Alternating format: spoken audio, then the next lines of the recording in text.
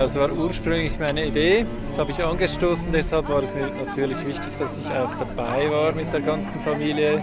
Ich erhoffe mir schon eine, also erstens für die Menschen, die hier dabei sind, für sie habe ich das gemacht und auch für mich und natürlich erhoffe ich mir auch eine weitere Sensibilisierung für Klimathemen.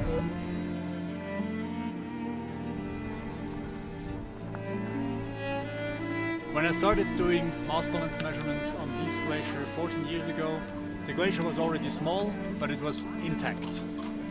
Then it has strongly melted, so we have lost massive amounts of ice over the years. In 2018, with this very strong summer heat waves, it suddenly split into two and it started falling in pieces.